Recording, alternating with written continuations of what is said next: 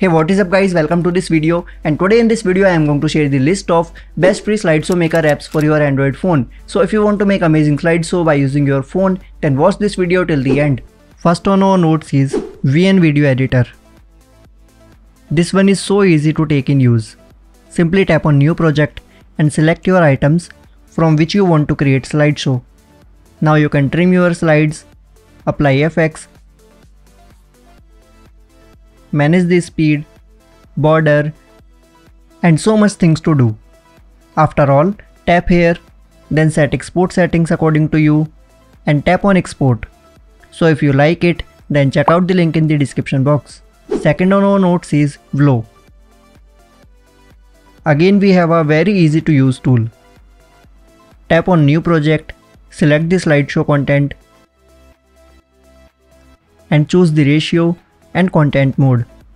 Now here you can make outstanding slideshow by adding things like audio, graphics, text, and effects.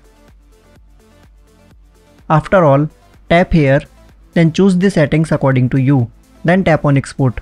So if you like it, then check out the link in the description box. Third one is GoPro Quik. Anyone can use it.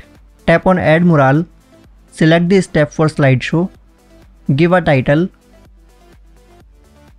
Now it will give a simple slideshow and you can edit it like applying themes, music, change the format and few ones.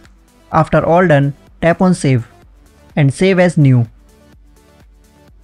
So if you like it, then check out the link in the description box. Hey wait, before moving forward please like this video because your likes motivate me to create more amazing content just like this. Fourth on our notes is Action Director. If you are a beginner, you can check out the tutorials. Tap on new project, select the aspect ratio, then select files for slideshow. You can add a file so many times. Here you can edit it like making cuts, managing the speed, applying text, filters, effects, music, and so much stuff to do. After all editing done, then tap on produce. Choose the resolution and frame rate. Then again tap on produce. So if you like it, then check out the link in the description box. Last one is Super Studio. Along with the slideshow making, you can do much things. Tap on new project, then select the images and videos for your slideshow. Now here you can do editing like split, replace, applying filters, and adjust the natures of the slide. You can apply text, sticker effects, and your own watermark. After all done, tap on export. So if you like it, then check out the link in the description box.